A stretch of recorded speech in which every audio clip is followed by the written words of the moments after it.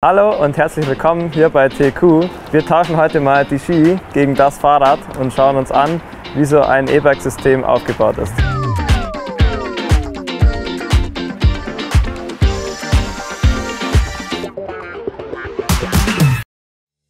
Servus, ich bin heute hier bei TQ in Peiting und hier arbeitet der Toni und der macht hier die E-Bike-Motoren und tüftelt darum. Und jetzt nehme ich euch mal mit.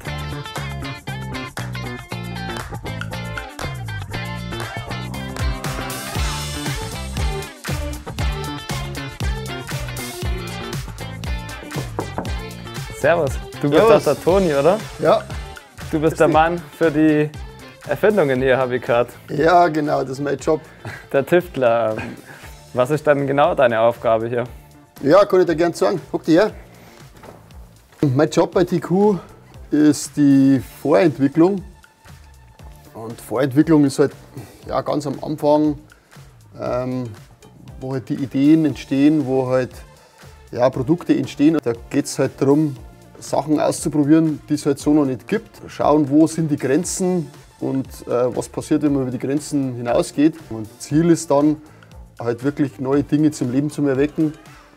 Also ähm, neue Technologien zu schaffen, neue Funktionsprinzipien und deren Machbarkeit einfach ähm, zu beweisen. Und was ist dir jetzt genau wichtig an den Produkten, die du dann äh, erfindest oder entwickelst?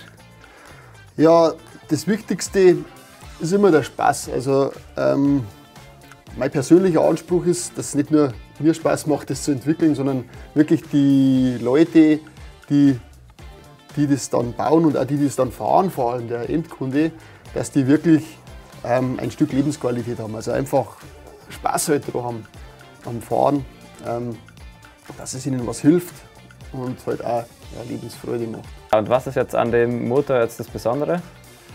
Also das Besondere an dem Motor ist einmal, dass er eine sehr hohe Drehmoment- und Leistungsdichte hat. Das bedeutet, ähm, die Leistung und die Kraft, die er entwickelt, kann in sehr kleinem Bauraum mit sehr wenig Volumen und mit sehr wenig Gewicht realisiert werden. Und das nächste ist auch die Charakteristik. Wir haben sehr viel ähm, ausprobiert und geforscht in Sachen Fahrverhalten. Ähm, ein E-Bike steuert man ja mit den Beinen an.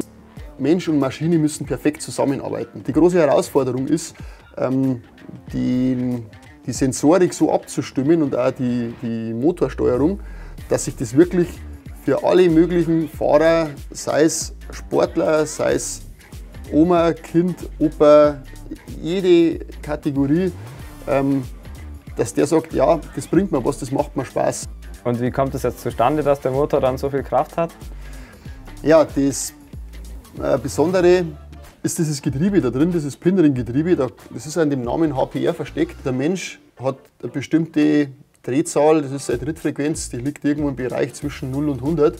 Und eine E-Maschine läuft halt besonders gut und effizient, ähm, eigentlich erst bei sehr viel he- höheren Drehzahlen. Deshalb braucht man ein sehr hoch untersetztes Getriebe. Das haben auch alle E-Bike-Motoren.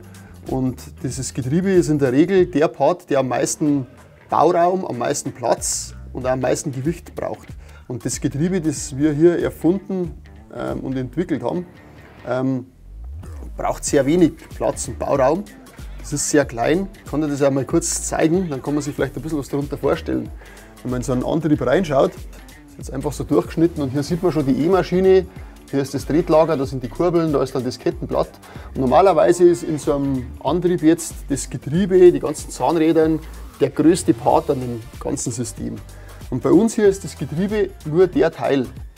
Ähm, Im Getriebe muss man sich vorstellen, einfach erklärt sind erstmal zwei Zahnräder, das die Kraft überträgt. Und wenn man hohe Untersetzungen haben will, dann setzt man meistens mehrere Stufen hintereinander oder man braucht sehr große Zahnräder. Und Zahnräder haben halt ein, zwei Zähne im Eingriff und der Rest der Zähne, die sind sozusagen arbeitslos. Das Besondere an unserem Getriebe ist, äh, dass wir es geschafft haben, alle Zähne arbeiten zu lassen. Und die Kraftübertragung geht eben über die Pins. Und wenn man jetzt schaut, egal an welcher Stelle die Kraft übertragen wird, der Pin ist immer im Eingriff. Das heißt, ich habe immer alle Zähne im Eingriff. So, also hier ist der Außenring vom Kugellager. Wenn man ihn in den Rotor dreht, dann schiebt es den Pin praktisch nach außen und der Pin geht entlang der Zahnkontur immer weiter.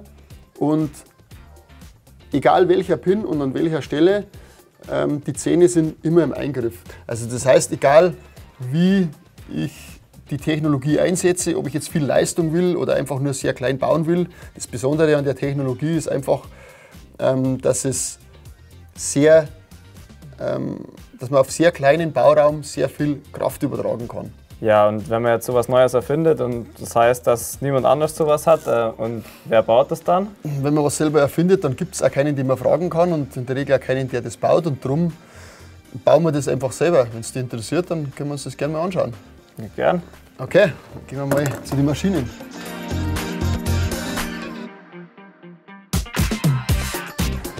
So, da ist die Edelschmiede, da werden die Teile gebaut. Da sind halt jetzt mehr Fräsmaschinen, Drehmaschinen.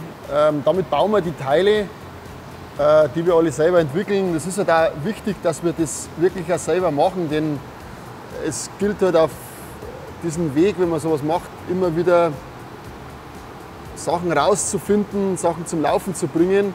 Und immer dann, wenn du wieder vor Herausforderungen stehst, dann darf man einfach keine Zeit verlieren. Du musst sofort eine Lösung haben, musst das sofort bauen. Und ähm, das ist was, was wir auch gelernt haben. Wir müssen das selber im Griff haben. Und darum bauen wir die Teile ja alle selber und ähm, entwickeln die immer weiter. Und auch während dem ganzen Fertigungsprozess kommen immer wieder neue Potenziale auf und wir bringen die Teile immer weiter. Und da beginnt halt dann die Reise von unserem E-Bike und dann geht's dann los. Okay, danke dir, Toni. War super, Gern. hat echt Spaß gemacht. Für die ganzen, danke für die Erklärungen und schauen wir mal, was die anderen so rausgefunden haben.